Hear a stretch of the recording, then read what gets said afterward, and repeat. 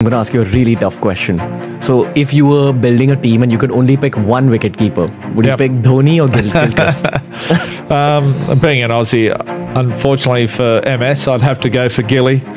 Um, you know, you know what Harbhajan Singh says about Gilchrist, right? That you know, you get all of them out and Gilchrist comes to bat at Yeah. number seven. Yeah, I know it's a luxury no other team had. So, but MS is, you know, to me, he's one of the best captains India's had. Just he's so cool and calm and collected. Nothing seems to faze him, and uh, you know, he's he's one of the, the greats in the game. But uh,